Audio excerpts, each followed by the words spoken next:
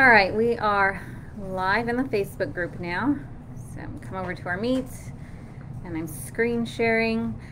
Um, and thank you guys for being here who is in the contract class. One more time, I'm just gonna say for the Facebook recording and anybody who jumps onto Facebook, this is a basic class. So if you do feel like you don't need it, feel free to jump off or fast forward to whatever part you really want to hear about. First thing we're gonna do is quickly go over to one to four um, just some of the issues that I'm seeing more and more agents kind of presenting on their contracts as they're turning them in.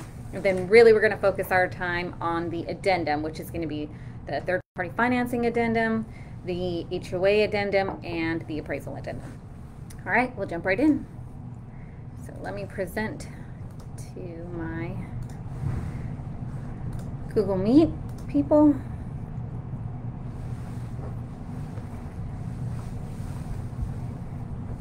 Okay, fun stuff.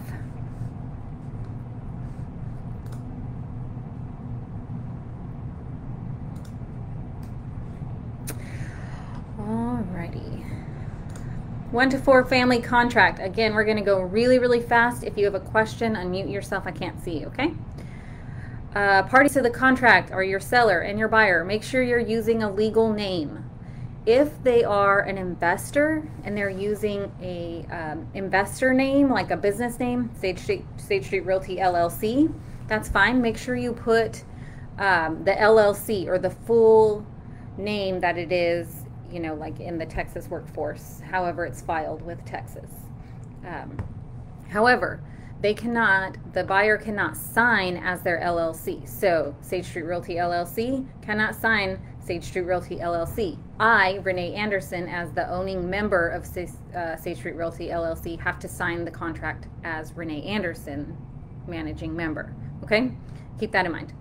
Uh, lot block, this is all very standard. Lot block, the description, county, known as, that's the address.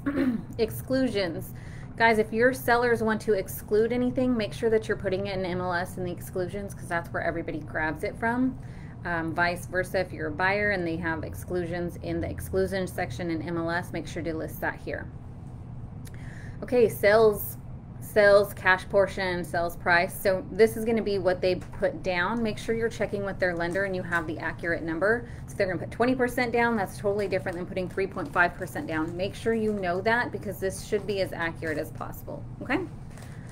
Um, Yes, you have to do math here. I know it sucks, but there's a little calculator. So just subtract the sales price minus their cash price and figure it out yourself. Third party financing addendum, make sure you're checking that if they have a third party, you know, financing addendum, if they're going to get any kind of financing. Um, loan assumption is not happening right now, but if that ever comes across your books, please give me a call first. Same with seller financing. They work totally differently, and title has to do a lot more work. Leases, this is the big change on the contract. So instead of it asking if you have a relation to the seller or buyer, section four is now leases. So if there's a residential lease, this does not mean you need a seller lease back or a buyer lease back. This is, I own a home, I have a renter in the property. Then I may need to, I, I might have a lease that's already intact. Then I would put, you know, check this box because there's already a lease and then we have to fill out this addendum regarding residential leases. Fixtures would include um, propane tanks, solar plant panels. These are the things you're going to see the most of. Um, water softener, security system. If there's any kind of like leased materials, so solar panels usually don't buy them because they're like eighty thousand dollars. You just rent them from the company, uh, and you have a monthly payment on those. That would be a lease, a fixture lease. Um, same thing with your security system. Some people don't actually buy all the cameras and stuff. They just um, have to have you know security with that particular company in order to get the system for free. So that would be something you need to you know you would put here in fixture leases. Natural resource lease, we're not going to see that as much unless you are doing um, land or farm and ranch. So if you come across that, please give me a call and we will go over that together. Earnest money and termination money, another big change in the contract. So instead of having termination paragraph 23 like it used to, everything's in paragraph 5. So remember that earnest money and option fee can be one check. And you're going to deliver it to name your title company as escrow agent. Do not put a person's name. It's okay if you have a preferred person at that company, you know, Chicago title dash Sean, Chicago title dash Michelle. I've seen that done, that's fine, but make sure you put Chicago title because if you put somebody else's name um, first before the title company, they're legally required to close this contract. Okay, so just keep that in mind that that's an amendment you have to do, and it's a real headache to get everybody to sign once you're pretty far into the contract. I'm sure most of you have dealt with that before. So, title company as escrow agent at 123 Main Street. Make sure you're putting the address there. Um, and then you're putting the money amount. So your earnest money is usually, usually not standard, not anything like that, but usually 1% of the contract amount. Um, obviously, people are raising that amount to be more uh, competitive. That's fine. So earnest money there. And this second blank here is your option fee. Okay, so that's going to be where you put your hundred to. I've seen them up to a thousand dollars now to take the property off as option. If you're not going to put an option, so your client is waiving the option, don't leave this part blank. Okay, push the space bar. It turns your spot green, and then put zero in there, or type the word zero Okay? Don't leave this blank, guys. Blanks are bad in contracts because they're legally binding documents. Um, and then number one, buyer shall deliver additional earnest money. That's usually going to be a zero. Again, click the space bar and put zero. Okay, that's that's how um, zip forms works because obviously you can only put numbers in this space. So if I try to write the word zero, nothing happens. But if I click space, it turns green, and then I can write the word zero. Okay. Um, within however many days of the effective date of the contract. That's if you're doing additional earnest money. Most people don't do that. Um, there are certain situations where that would happen, uh, depending on uh, improvements at the beginning. You know, like you already see things, or you know they're putting like a really big chunk of money, earnest, earnest money down just to get it off the market. So there are different scenarios where this could be a great way to negotiate. Um, but don't do it if you don't know what you're doing, if you don't know if it fits the situation. Call me first and we'll talk it through. Okay. Paragraph B is termination options. So even though the termination money is listed here, paragraph B talks, talks about your termination time period. So whether it's one day or 10 days, that's how many days you put there. Okay. And take note that it's at 5 p.m. that day, not midnight. Okay. All right, title and survey. Um, make sure that you're checking is it going to be a seller's paid for the survey or a buyer's paid for the survey? And it has to be issued by the title company you're closing with. Okay. Are they going to amend or um, will it not be amended or deleted from the title policy if there's any, you know, printed exceptions as to the discrepancies, conflicts, shortages in the area or boundary lines, encroachments, or protrusions or overlapping improvements? So overlapping improvement would be like a fence maybe a fence like isn't perfectly straight and it's kind of sideways and it overlaps two different properties. Would you amend that survey or would you delete it um, because it shorted it shorts your client's property? That's a conversation you have to have with your clients guys. Don't just assume that they're not going to do anything. Um, if and then a lot of times, especially in this market, if you're representing the buyer, if they want to make sure they're getting every piece of land, or they want to say that there's a shortage in their area because they don't want to pay for it tax wise, just have them buy, have the buyer pay for it if there's an issue. Okay, um, that way that it still looks competitive, but you're taking care of your client. Don't assume on this. Um, that's a talk to your client about it. Okay, and if you have questions, let me know survey. I'm not going to really go over this, nothing new there, but keep in mind that if you do use a current survey, one that's been, you know, had by the previous owner, you need to have a T47 notarized. If you if your clients can't get a notary, make sure you contact one of the notaries in our office. So Nikki's one, Nadim is one. I think Marcy's got a notary. Um, contact one of them. I'm sure they'll do it for a reasonable price for a client. Okay. Um, objections, this is if they're going to object to anything, any kind of activity. This will be in the title commitment, so you can always ask. But stuff like this would be you're not allowed to run a business in your home based on the HOA documents, or there's restrictions on the deed that say you can't have um, a daycare in your in your property. So you want to make sure that they have, you know, if they're going to do something besides just live in the property, you would list that here. That way we know and that you have time to object to it once you get all the documents, the commitment, the exemptions, all the surveys and stuff within however many days. Give your buyer some time to read through those documents because if they do plan on running a business out of their home that's not just like an office and virtual, um, where they're going to have people or kids or stored, you know, uh, property, then then make sure that you give them enough time to read through their documents. Okay. Uh, member and owners association. We're going to talk about this more later, but make sure you know if it is or is not in a member association. Okay don't just assume, because again, that can get you in a little bit of trouble um, and cost you money. Seller's disclosure check uh, MLS before you just say buyer has not received the notice, okay? Because sometimes those sellers are uploading them. They're not even going to consider your offer if you put that you didn't receive it and they have three days to deliver it to you, okay? So pay attention to that. Um, let's see, property condition. Make sure that you're explaining to your client that as is means that you're gonna, you're, you still have option time, or is as is means as is because you waived option, okay? So make sure you're explaining these two options to them. Um, if they walk in, they see the pool pump doesn't work, and that's like a huge make it or break it for them, don't check as is. Still check buyer accepts property as is, provided and then put some whatever treatment you want in there, okay? Because that can get you in trouble as well.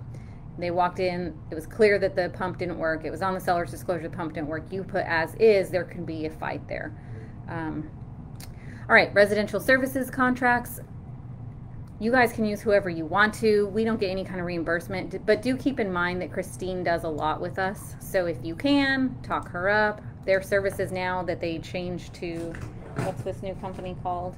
Home serve home warranty they actually do even more and the prices are even better. So if for whatever reason you're you know getting a home warranty for your buyers um, make sure that you talk with christine about that a little bit okay? Um, broker and sales agents guys if you are related to in any way your client please list it here. Disclose disclose disclose okay? Even if they're your third cousin four times removed it's better to say something than not to okay um, closing on or before, on or before. Always try and like get your closing date the most accurate as possible because title and lenders um, calculate taxes that are going to have to be credited or paid for based on this date. But keep in mind that it means says on or before. You do not have to amend the contract if your closing date's on the 15th and you want to close on the 10th. You only amend it if it closing date's on the 15th and you need to close on the 20th. Okay. Possession. Um, obviously, this is happening a lot upon closing and funding is not according to a temporary residential leaseback is because everybody's just selling and it's frantic. So if you have a leaseback, make sure that you're filling that out correctly. If you don't know what you're doing, please call me first. And if you get one because you're the seller's agent and you don't understand it, um, call me. We'll talk through it and we can go from there. We won't be discussing that particular document today. Settlement and other expenses. This is at, if your buyer is FHA or VA, they can ask for money back from you to help pay for some of their closing costs. Your seller, I mean. So uh, keep that in mind. If you guys have any, you know, people who need help with their closing costs, that does not necessarily take you out of the running for an, for a, a contract. I'm not going to lie, it doesn't help if you have that there. But um, I mean, I've been in a crazy market and got my client six thousand dollars back. It just depends on what you're, you know, offering. And sometimes they just don't have a whole bunch of open cash, but they make a lot of money. You know, so, so not everybody saves as good as everybody else. Um, let's see. All of this is promulgated, so I'm not going to go over it. Notices. Um, this is what I always do, just because I like to be in the loop. Always put your seller's name at the top and I, in the second line, I put CC and then my email address. Let's see if I can stop. Like that. Because I want to know that any notice that's sent to my seller is copied over to me. That way I can help explain it to them. Uh, perfect example I just had a seller who had the seller's information sheet sent to them from title. Freaked out. Title didn't loop me in, and so I had to go and pick up these sellers' forms because they didn't want to email their social security number over to title. So I always put my stuff in here because I'd like to be connected on everything and let them know it's not a scam. We're all being scammed these days, so everybody's scared of everything. Uh, this is the seller's phone number, the seller's email, and the other seller's email if there's two of them. Okay? Nobody has a fax anymore, let's be real. Agreement to parties. Uh, this is the addendums that you would use. So, third party financing addendum, um, if there's an HOA, if there's uh, a seller lease back, if the house was built before, you know, 1978, you might have a uh, lead-based paint addendum, um, hydrostatic testing. Guys, this can hurt the plumbing of the house, so you have to get authorization from the current seller to do this if your buyer wants to do it, okay? And then this is the other big one, addendum concerning right to terminate due to lender's appraisal, okay? Um, attorneys, most people don't have an attorney, so you can leave that blank. Executed date, the last person to sign this document executes the contract. So if you represent the seller, the buyer submits the offer to you. You, as the seller's agent, have your sellers sign, and if there were no changes made on the contract, you execute. Now, if the buyer's agent submits the contract to you, the offer, your sellers sign it, except for you change the title company and your sellers also initial your change on the title company, the buyer then has to initial the change. So it cannot be executed because that's not the last signature. Okay? So then you have to send it back to the buyer's agent. The buyer's agent will have their his client initial that change of title and that buyer's agent will execute the contract. Okay? So the last signature executes the contract. It says broker to fill in the date. You guys, you have my authorization to sign as a broker's agent and anything that says, you know, broker, like including effective dates. Uh, so keep that in mind. And then the last page, broker information, fill this out completely. It's very rude to send a contract that's not completely filled out.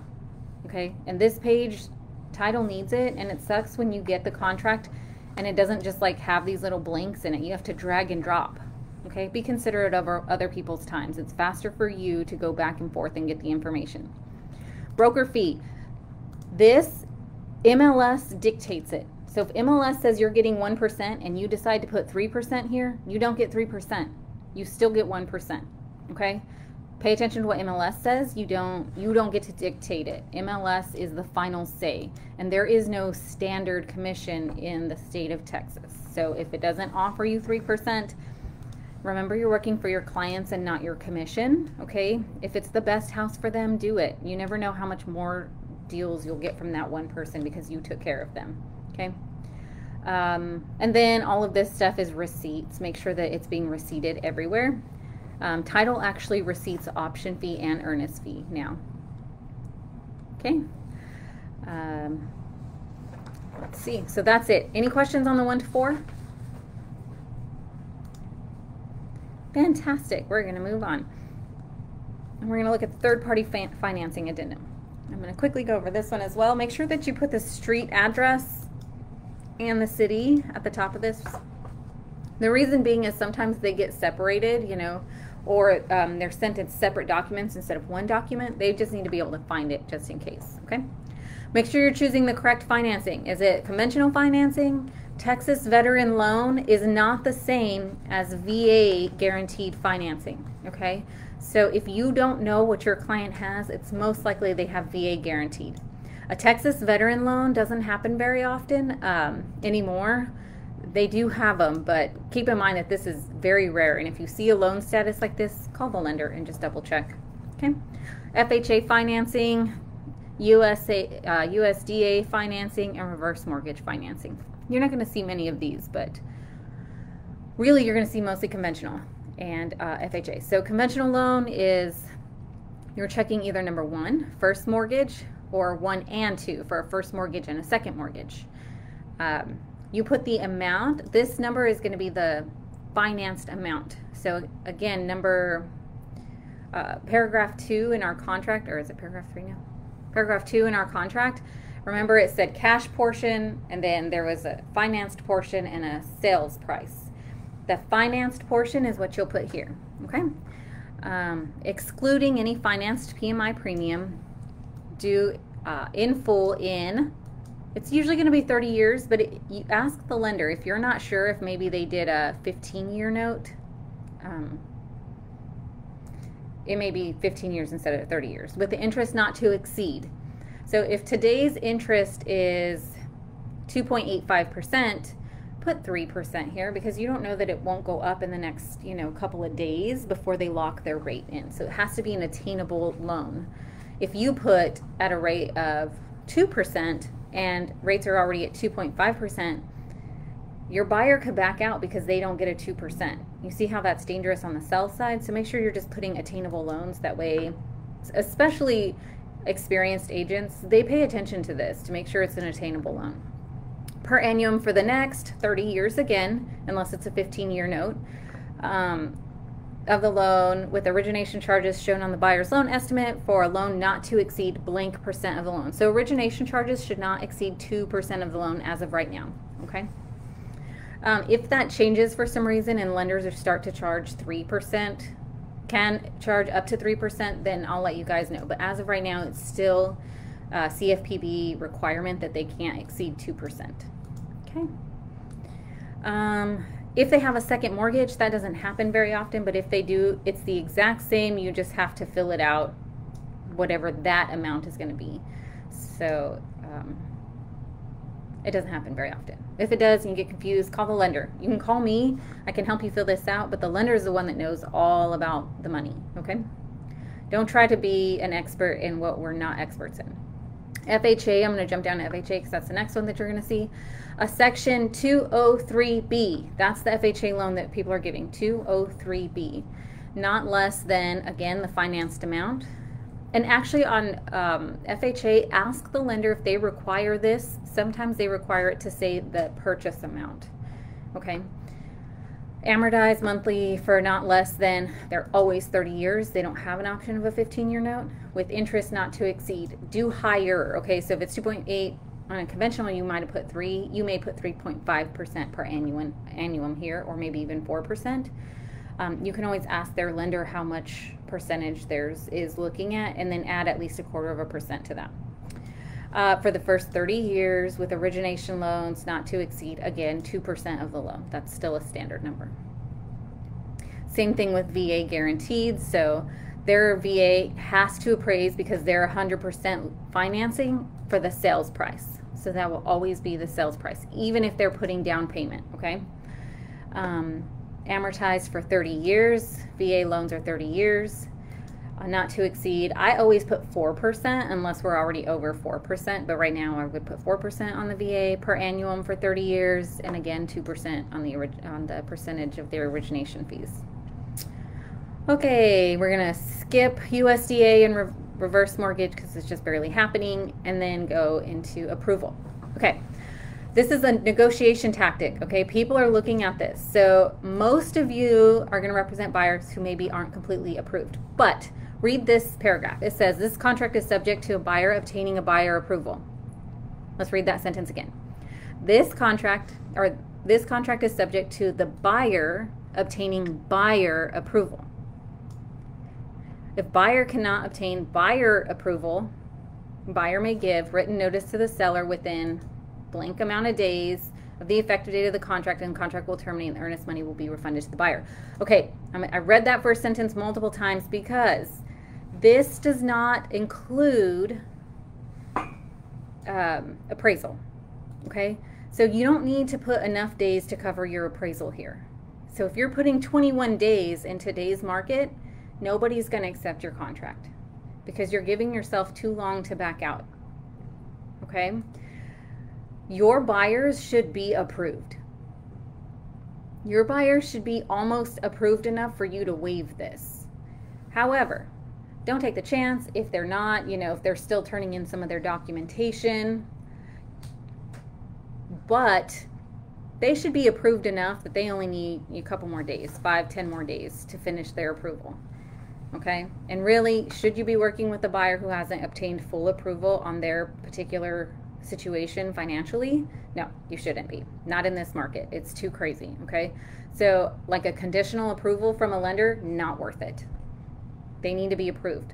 This means the buyer has to obtain buyer approval. Me, myself, my own credit, my own job, my own situation, I can be approved within 10 to 15 days. I wouldn't put more than 10 to 15 days in here, okay? Not the appraisal. The appraisal gives you a completely different out unless you waive that.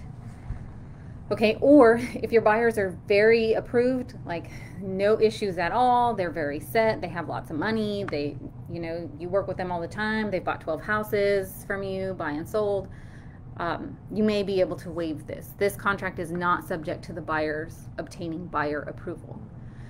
Do not check this box if you are not 118% sure, okay? But uh, definitely speak with their lender. That's how you'll know. FHA requirements, you only have to fill this provision out if you're FHA or VA. And this basically talks about the appraisal. Like it has to appraise for what the lender is willing to uh, lend on. Otherwise, they'll, they'll do less. Okay. Remember that your FHA buyers and your VA buyers can waive appraisal. It's different. Um, and verbiage is going to be put in a different place, but it doesn't matter the loan will still only loan to whatever amount is in this number, is in this page, okay? Um, and I can show you how to waive this, but we'll, we'll talk about it when we get to the appraisal waiver. All right, and that's it. Make sure everybody signs, and we're done with the third-party financing addendum. Any questions on third-party financing? What is a good question to ask with regards to the approval? Like, because uh, sometimes I hear it's gone through underwriting, but mm-hmm. it has not. Is that something that we can ask the lender?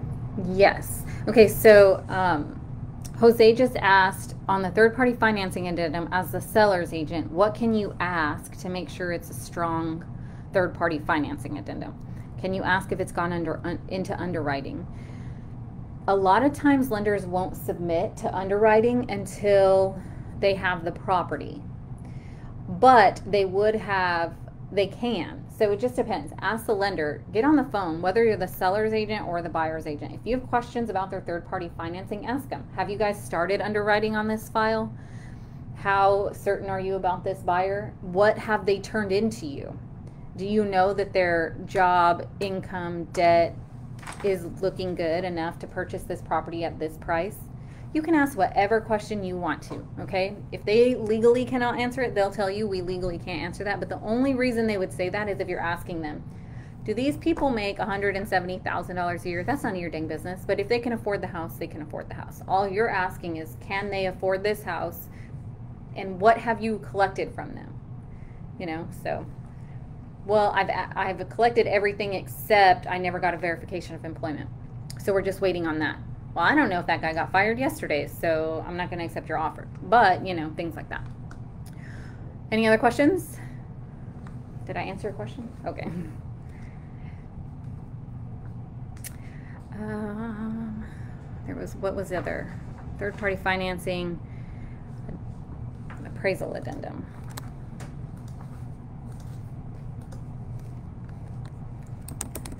Lender's appraisal.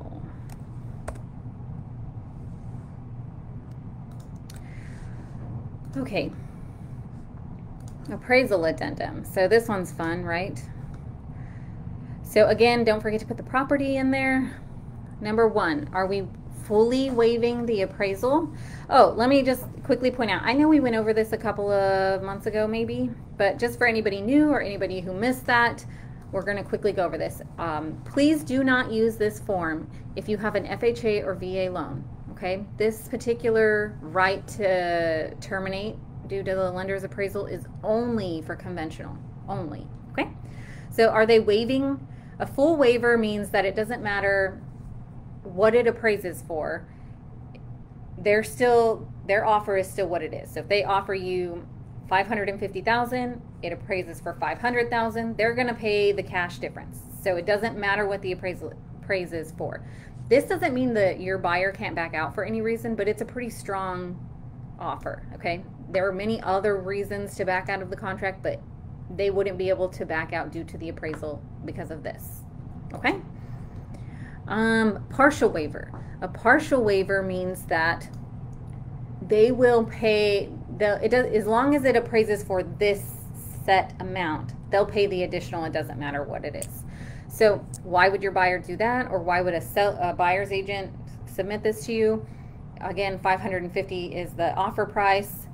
Uh, you listed it at 500,000 because you know it'll appraise for 500,000. But as long as it appraises for 510,000, they're going to pay the difference because they've got 40,000, you know, 40,000. Nope, that's that's a lie. You listed for 500, they have it on 550. Sorry, I'm getting confused in my head. As long as it appraises for 490, it doesn't matter what else it appraises for. Um, they've got 60,000 in the ca- cash to put down on the property. So that's their cap. Now, if you list it at 500 and 550 full appraisal waiver, if it only appraises for 400, they're coming out of pocket 150,000. See how that works? So, full waiver, it doesn't matter what you appraise for. They're going to pay that 550. Partial waiver, as long as it appraises for this much, this is how much cash I have. I have 60 grand in the bank, I can pay 60 grand. This is what I offered, that's what's more than my offer. That's what I can do. Does anybody have questions on partial waiver? So partial waiver, obviously, you're, you're not just checking the box, you're checking the box and giving a value. Okay?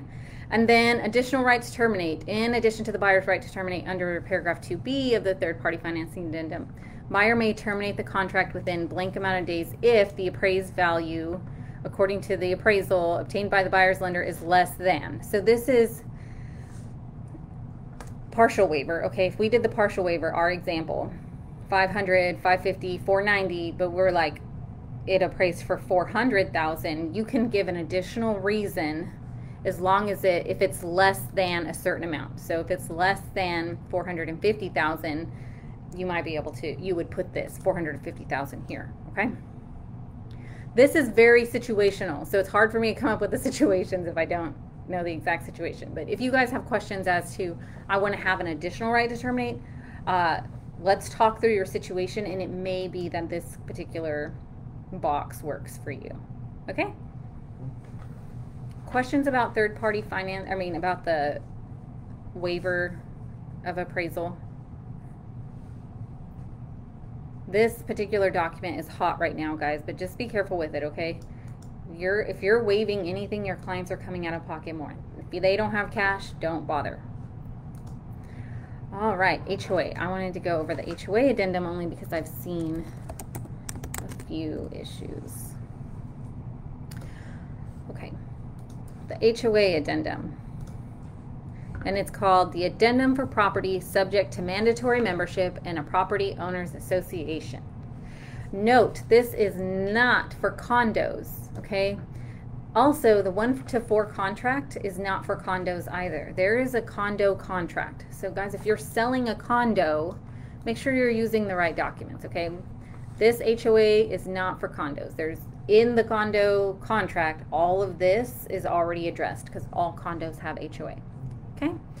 So, this is uh, concerning this particular address, uh, street address and city. And then this is where you're going to list the owner's association and the phone number. So if you don't have this information as a buyer's agent, because you want to turn this in as a buyer's agent in with the offer, because there's money attached to it, okay? Um, if you don't know this, ask the seller's agent. If they don't know, um, research it on MLS. Like when was the next door neighbor's house sold or two houses down sold? What what did they have on here? what was the owners association and the and the phone number. You can put that for now because this can be amended if we needed to do that. Okay. Um, so if this particular document is not already uploaded into MLS, which usually it's not because there's money attached, um, you're going to choose number one within however many days of the effective date the seller is going to deliver the subdivision information to the buyer.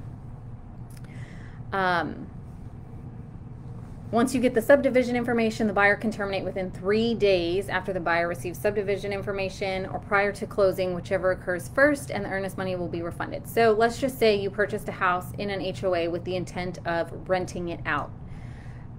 all of a sudden you get the HOA documents and they say no rentals in this neighborhood. All they want all ownership and that's how they're keeping their properties, you know, at their particular value. If you got that, you would have 3 days at least to um, back out of this contract, get your earnest money back, and not worry about the rest of it. Um, okay, number two, within blank days of this effective date of this contract, buyer shall obtain, so this means they don't have the subdivision information. Um, buyer shall obtain, pay for, and deliver a copy of the subdivision information to the seller. If the buyer obtains the subdivision information within the time required, um, the buyer can terminate the contract within three days after the buyer receives the subdivision information. So that this section is exact same as up here. They can, if they pay for it and they get it, then they can back out if again their renter can't be a renter or whatever the case is. Okay. Number three, the buyer has received and approved subdivision, subdivision information. This means um, we, you know, the seller already uploaded all the HOA docs in MLS and you got them right off the bat. And this says that the buyer does or does not require an update uh, updated resale certificate. You're almost always going to be required to obtain an updated resale certificate um, unless you're paying cash. And then if you pay cash and nobody requires you to do the resale cert, you're going to have to do it at some point. So keep that in mind. Um, and then the buyer does not require delivery of subdivision info. Why would this be? Nobody should, you should never check this box. Buyer's always going to require it. Okay, you need to know what's what your HOA um, stuff is. The title company or its agents is authorized to act on behalf of the parties. So guys don't freak out if there's an HOA and you're the seller's agent. You don't have to go digging for this. The the title company does it for you. Okay, this is the part I want to talk about. Material charges changes. Um, when there's an HOA, you know that resale certificate we were just talking about? HOAs, we always like make fun of them because they're Karens. You know, they require our grass to be cut a certain way, or our fence has to be painted or stained a certain color, or we can't paint our door, or whatever the case is with HOA. On top of that, how do they manage? How do they like hire people to do all this stuff? Well, we pay for them, right? So the HOA is what $900 a year. That's fine on top of that, every time they have to print the subdivision information, even if it's just an email, they charge you. So this, they charge you to do association fees, deposits reserved, and change charges associated with the transfer of the party. Um, they charge for everything. So there's a transfer fee, there's a resale cert fee, there's association fees, all of those fees that it costs to change the owner of the home um, can cost up to usually about $500. That's kind of standard, up to $500. This paragraph, as a buyer's agent, says how much you're willing to pay to transfer the fees to you. And you have to put a dollar amount. You, you could, I guess you could put 100% if you push the start, you know, that space button. So if your buyer's willing to put just, I don't care what it costs to transfer, I'll pay 100% of it, that's fine. You can put $300 there, you can put $100 there, you can put $50 there. But whatever the buyer's willing to pay, the seller has to pay the rest.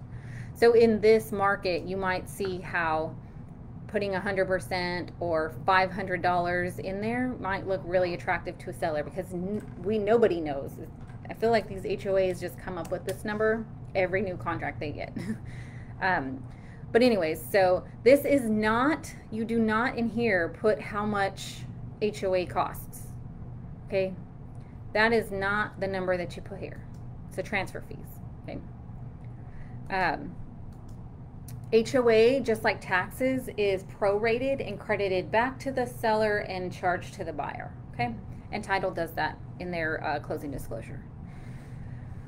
Um, and then the last thing is whoever's obtaining it, do they have authorization to obtain? Okay, any questions on the HOA or addendum for property subject to mandatory membership in a property owners association? what, ha- what happens if the amount is more? So let's say we find out that it's five hundred dollars to transfer, but they put six hundred dollars. So you have an influx of. It says up to. So Oh, okay. prop, uh, the transfer fees of the property not to exceed.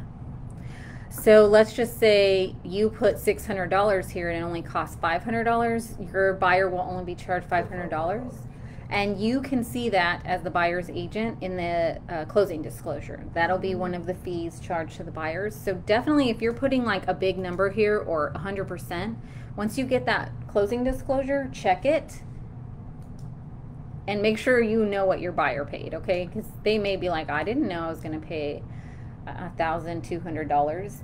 Just because I'm saying it's a five hundred dollar standard, that doesn't mean that people aren't getting more and more greedy in the market, or you know they're being pressed to deliver faster, so they're requiring more money. I don't know. Okay, so just be be mindful that that could be any number.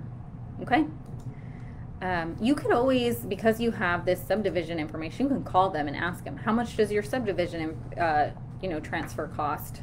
I'm trying to put in a, an offer. It may take you four days to get an answer. You never know, but um, but yeah, it's up to. So if they put in more money, then it's they're only going to be charged whatever it actually costs. That credit doesn't go to the seller. Okay. All right. Any other questions? Bam. All right. So it's been almost an hour, and we were able to get through that pretty quickly. Does anybody have questions? Ah. Anybody have questions on the one to four, third party, HOA, addendum, appraisal addendum?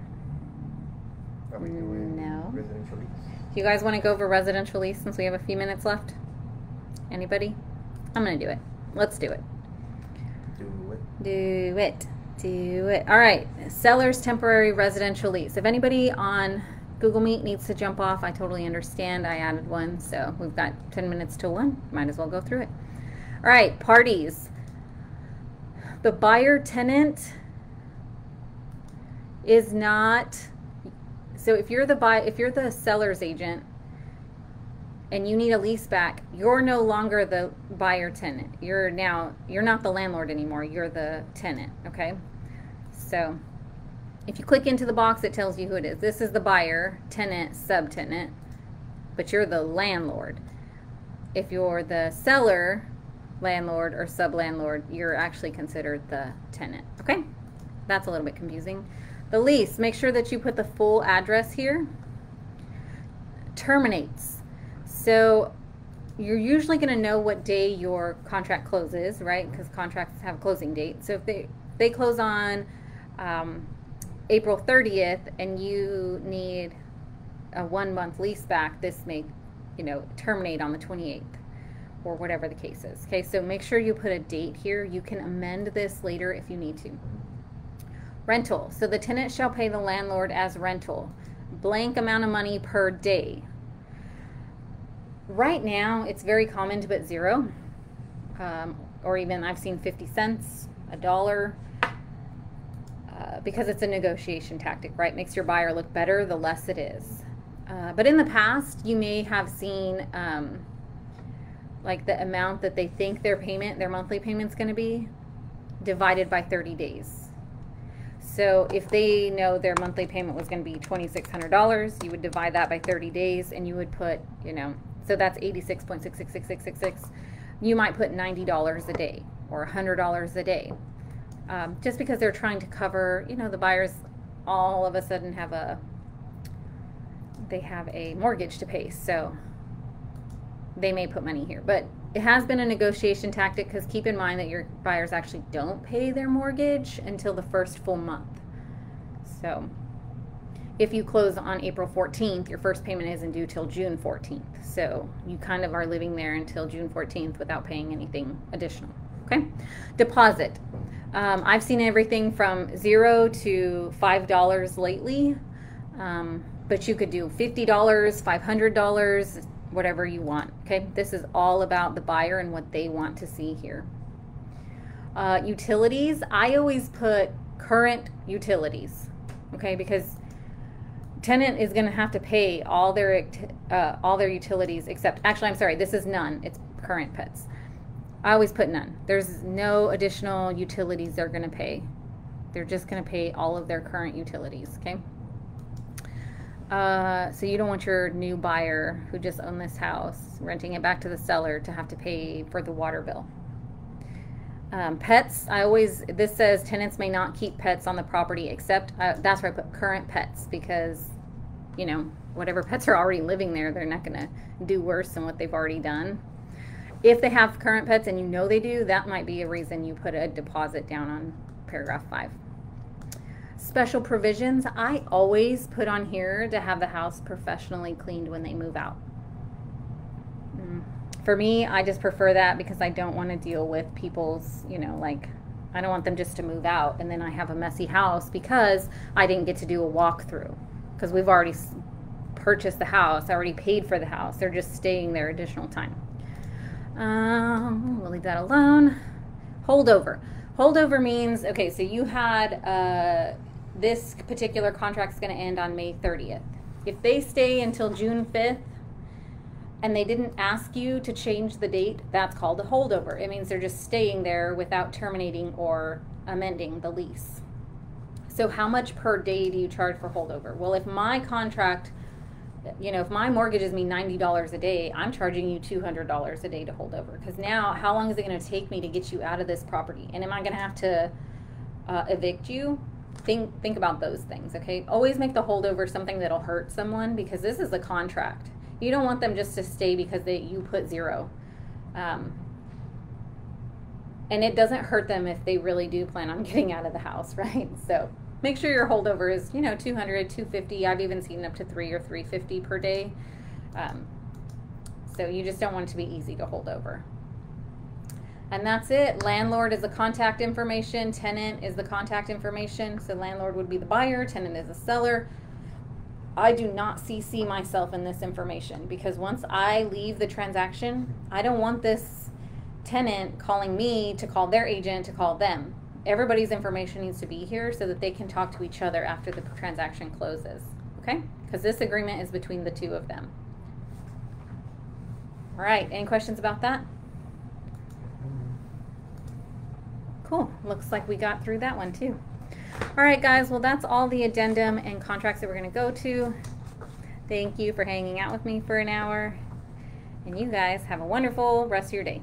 Bye. Oh, uh, Wind Down Wednesdays tomorrow. Ha ha ha.